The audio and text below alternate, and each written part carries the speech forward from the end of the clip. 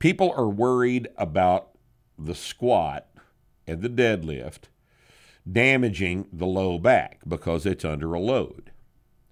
All right, if we, we want a more horizontal back angle to squat more effectively, and we have to have a horizontal back angle to pick the barbell up off of the floor. And we're telling you that it's a strength exercise, and everybody in the medical community is telling you to keep your back vertical. Well, what we're telling you is to strengthen the muscles that stabilize your spine, and they're telling you to avoid using the muscles that stabilize your spine. Now, this doesn't make any sense. All right. If we, what is better, a strong back or a weak back? Well, I would maintain that a strong back is better. So, how do you get your back strong? Well, you load the back progressively, just like you load everything else to get it strong.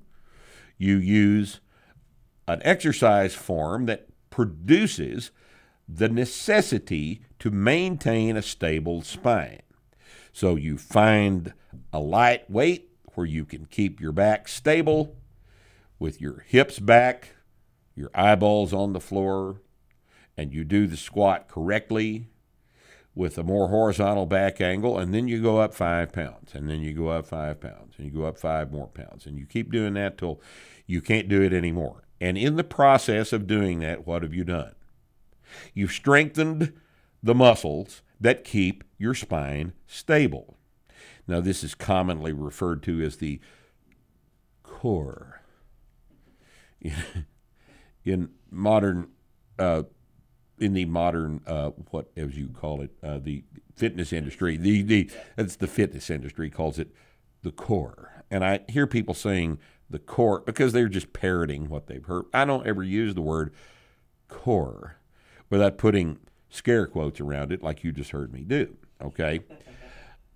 If your back is strong enough your back muscles and all of the abdominal muscles and all the muscles on either side and the floor of the pelvis, all the muscles that stabilize the spine, is strong enough to deadlift 500 pounds, then, my friend, you have a strong core.